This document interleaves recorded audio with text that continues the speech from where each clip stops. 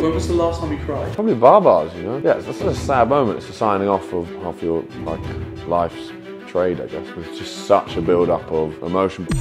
Obviously, not not get out of group stages is, is a disappointment. The disappointing thing was the, the the fallout off the back of it. I think something bad happens and then there's a fallout off the back of it, and people are bitching. Clearly, we weren't good enough as a group. 60 odd percent is it? That'll come out with depression or they'll end up bankrupt or those sort of bits. How can you put yourself or future-proof yourself so that it's prevention rather than a cure? There's always people to talk to, it's just whether you want to go and talk. So I think the big challenge is encouraging people to go and talk.